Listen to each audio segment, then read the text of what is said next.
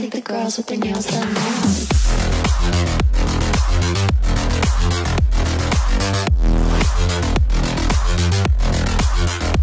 Girls with their nails done. I think the girls with their nails done.